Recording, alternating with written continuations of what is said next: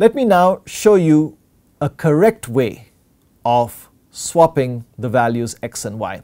Once again, we will initialize the values like before, but this time we will have three assignment statements and we're using a temporary variable, temp. Let's see how this code visualizes.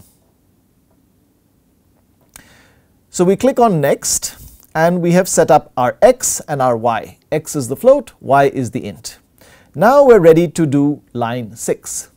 Temp is equal to x. We know that this is just going to put another label, namely temp, on the object that x currently labels. So when we visualize this, you observe here is your temp and it is referring to the same object that x is referring to.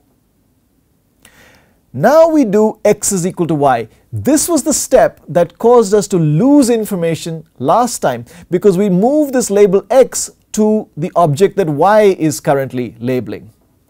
But why did we lose information last time? Because no other variable was referring to this float object.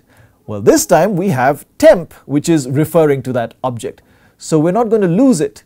We're simply going to move this label from the float to the int.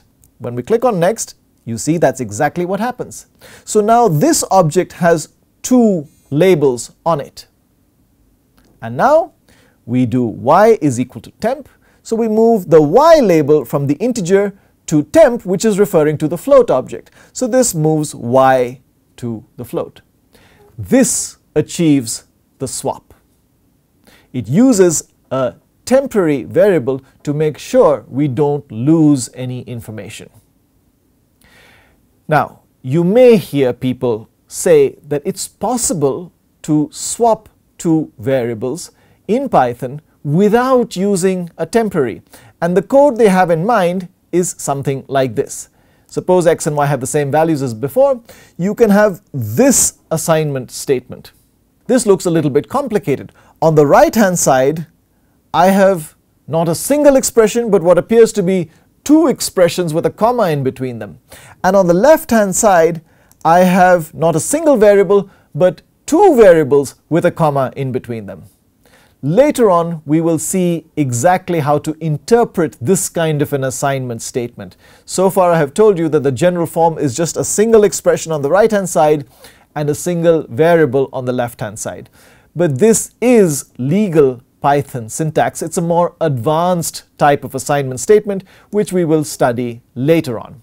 But just to show you how this works, when we initialize these variables x and y, when we do this statement, it's very hard to understand exactly what is happening underneath. All that the visualization shows us is that when we click next, the two arrows interchange. So someone looking at this says, I don't see a temporary, so it is possible to swap two variables without a temp. As I said, exactly what is going on underneath is hidden and if you are deeply interested, you can search for this answer. Is this actually swapping without a temporary? But for us, this is too advanced. We will proceed.